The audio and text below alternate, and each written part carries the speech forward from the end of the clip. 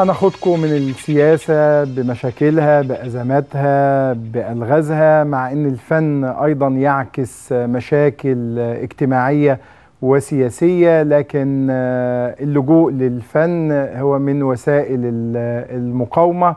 غادة عبد الرازق أهم ما يميزها هي التصميم على النجاح وأيضا المنافسة في منطقة القمة.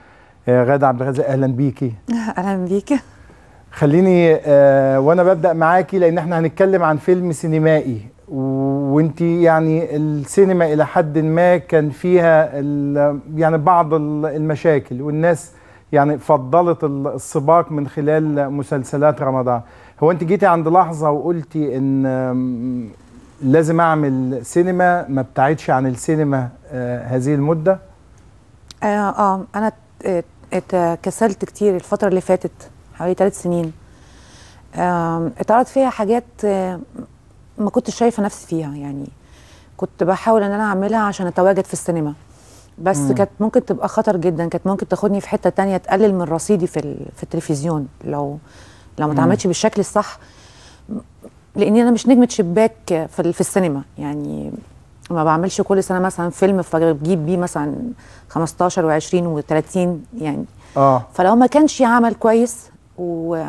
وهيضيف ليا حتى لو ما جابش فلوس يتحسب لي آه ياخد من رصيدي بس انت بتقولي كان اللي بيعرض عليكي كنت بتقولي لا يعني. آه. لحد ما جالي الفيلم ده. طيب. آه ليه بتقولي مش أنا مش عارفة ليه أنا مخضوضة منك. ما أنا عايز والله مخضوضة منك. عارفة عشان على طول بشوفك في التلفزيون؟ بتتكلموا في السياسة. أقول لا فحاسة إن هي الحكاية غريبة عليا هنا وأنا كأني فاهم متاخدة. هنزيل الخضة إن شاء الله لأن إحنا مش هنتكلم في أي أزمات ولا أي مشاكل. لا لا أنا متأكدة بس يعني ال... آه مش عارفة حاسة كده إن أنا متاخدة. طب نعمل إيه في المشكلة نحاول إحنا بنتكلم عن الفن عموما آه هي السياسة السياسة بتضايق بتزعج أو بتخوف؟ آه أنا أنا بخاف منها بقلق منها يعني ما بتقلقي منها؟ آه مع إن الناس كلها بقت مسيسه جدا اليومين دول بقى بيتكلموا في السياسة. أنا ملياش خلاص. بس مهمومة طبعا يعني مهمومة بالقضايا اللي بتحصل. أكيد أكيد زينا زي بقية الناس أكيد. طيب آه في ده غدا يعني انت ال ال السينما وهنحاول نزيل الخط ده خطوة خطوة يعني. أوكي. المسلسلات رمضان الكلام اللي بيقولوا عشان تيجي للسينما أصل لازم تبتعدي شوية عن مسلسلات رمضان أو ان المسلسلات عموما بتحرق بتستهلك النجم, النجم وبتحرقه آه هل هل ده صحيح؟ كان زمان دلوقتي لا.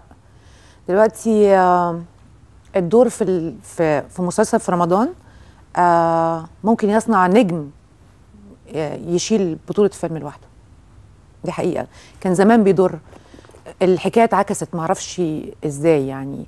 ناس بتنزل آه في نجوم بيعملوا مسلسلات والناس بتنزل لهم ونجوم شباك وبيجيبوا فلوس لحد دلوقتي. آه في في في المسلسلات كمان عملية الاختيار. انت داخلة مسلسل في رمضان الخنكة.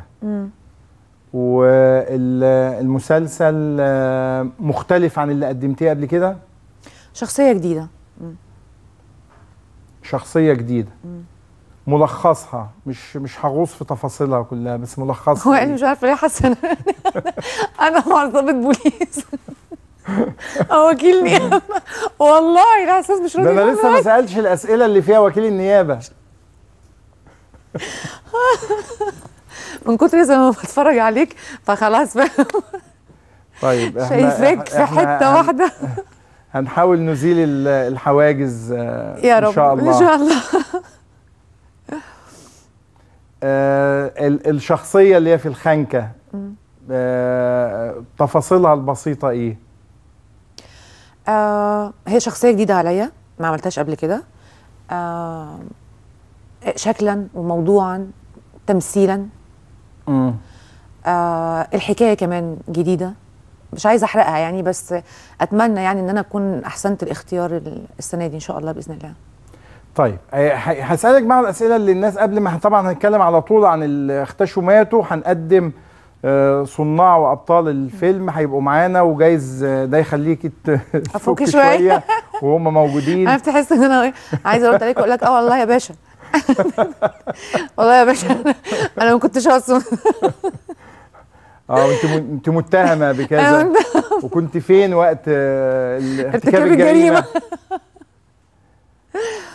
أسئلة التهمية هو عشان هتفك بيها إن شاء الله. أوكي.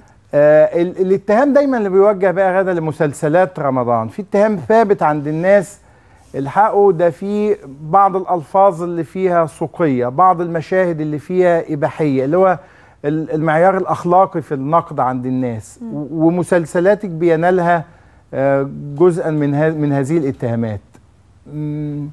ما يعني ما بتحاوليش تقولي لما آه، آه، يعني أحاول إن أنا أتجاوب مع ده؟ يعني في ناس توجه اتهامات إنه أصل في ألفاظ بتكون خادشة للحياة أو في مشاهد آه، ما تنفعش تدخل البيوت ولا ما بتهتميش بهذا ال- المعيار الأخلاقي في النقد أو لا العائلي؟ إزاي؟ لا طبعا طبعا لأن أنا عندي يعني عندي بيتي وعندي بنتي وعندي أحفادي دلوقتي وعندي ناس كتير قوي مش هقبل إن إن أنا أعمل حاجة ممكن تضايقهم أو تضايق الجمهور.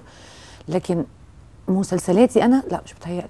يعني مثلا كابوس السنة اللي فاتت لا يمكن يكون كان فيه أي لفظ أو أي حاجة خالص ولا في السيدة الأولى ولا يمكن في حكاية حياة ومع سبق الإصرار آه حكاية حياة وسبب بس في بعض الألفاظ الكتير في بعض بس. ما كانتش مني أنا شخصيا يمكن كانت من نماذج معينة في المسلسل و والكاتب والمخرج كان شايف إنها يعني ال ال الحدث ده يستحمل أو الشخصية دي تستحمل إنها تقول ال ال يعني اللفظ بالشكل ده. لكن أنا كغادة لا. يعني أنت في في المسلسلات في تحديدا آه بتهتمي بده؟ جدا. لأن السينما مختلفة يعني. طبعا. آه بتهتمي جدا. جدا طبعا. بس حتى بي- بيظل الاتهام يعني موجودا. بس أنت ه- أنا عموما على طول متهمة. يعني أنا على طول على طول سواء عملت أو ما عملتش آه لازم ينالوا مني. ليه؟ ليه؟ مش عارفة. يمكن شكلي بيستفزهم. والله مش عارفة يا باشا انت نسيتك تؤمر بيه.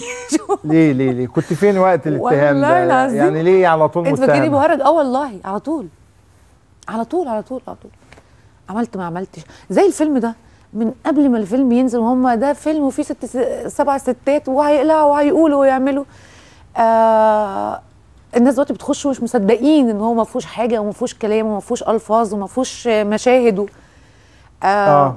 آه. اللي كتب عليه 16 سنة قال لك بص شفت أنا قلت لك أهو يا عم 16 سنة أيوه مش عايزين ندخلوا الولاد عشان الفجر اللي جوه طلع ان 16 سنة ده عشان في مشهد جريمة قتل فمش عايزين حد يشوف عنف آه يعني عنف مش آه مش مشاهد آه تفسر على إنها آه. جنسية يعني. فعايزه أقول لك إن في ناس كتير جدا زعلانة جدا جدا إن الفيلم ده ما عرفوش آه، يجيبوا منه غلطة لغاده آه بس حتى التصنيف ده آه، مش بتخاف إن هو ممكن يخلي عائلات تقول آه، لا طالما في تصنيف كده فمش هينفع العيلة تدخل؟ والله بص أنا بشوف إن مشهد عنف يعني إحنا بنشوف أفلام أجنبي كتير فيها عنف. وبنشوف حاجات كتيرة جدا. وبقى في دلوقتي الفيسبوك والنت يعني حاجات كتير قوي يعني. آه. شايفة ان لما يتعمل تصنيف يتعمل علشان آه، ألفاظ مشاهد آه، حاجات. لكن هي يعني المشهد أو أنا شايفة المشهد بأمانة ما كانش يستحمل إن إحنا ممكن نقول إن هو يعني لازم يتحط له تصنيف.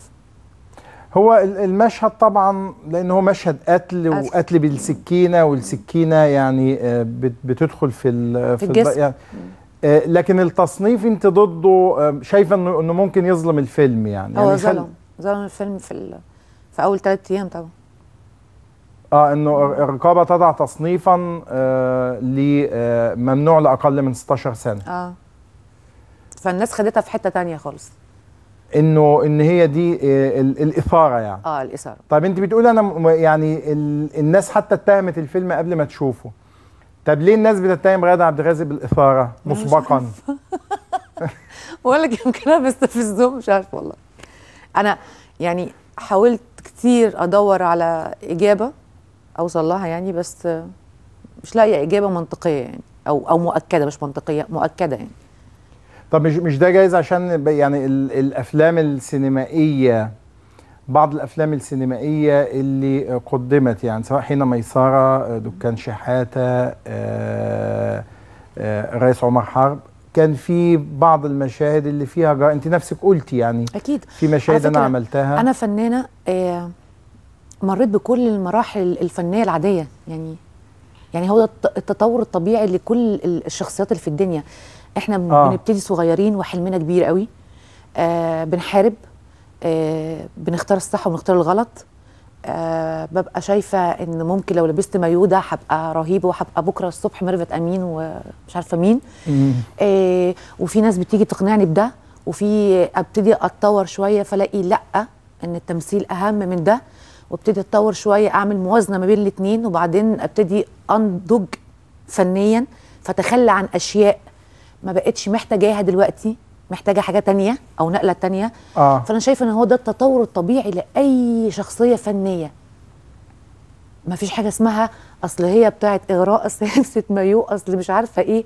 لا إحنا كلنا بن بنمر بمراحل زي بالظبط المراحل العمرية العادية من غير ما حد يشتغل في الفن. هل وأنت عندك 12 سنة زي وأنت عندك 17 في المراهقة غير زي عندك حاجة و20 لا طبعا. حتى الاختيارات بتختلف و...